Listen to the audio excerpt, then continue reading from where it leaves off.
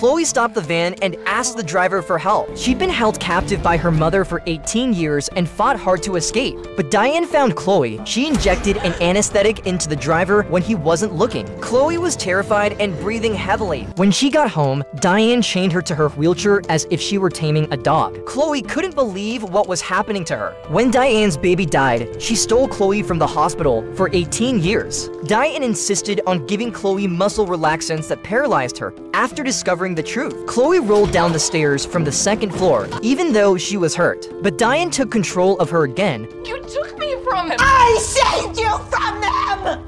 Diane has lost her mind and decides to inject Chloe to keep her from leaving. Chloe hides in the utility room, feeling desperate. Be my baby. To get back at Diane, Chloe drinks a bottle of poison and spits blood from her mouth.